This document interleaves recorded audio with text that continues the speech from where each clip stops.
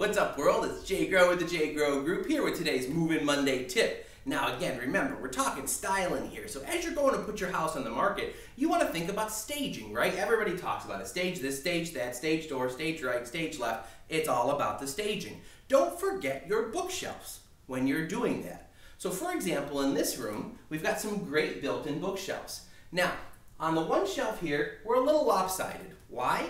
Because if you take a look, all the other shelves have been staged. They're lovely, they're simple.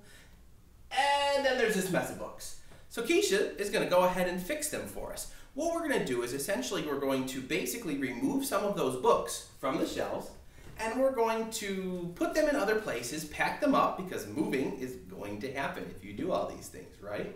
We're going to lay some books on their sides. We're going to simplify the shelf and we're going to go ahead and move some other books away. What it does gives you a nice, simple overall look, very tasteful, organized, and a little bit different.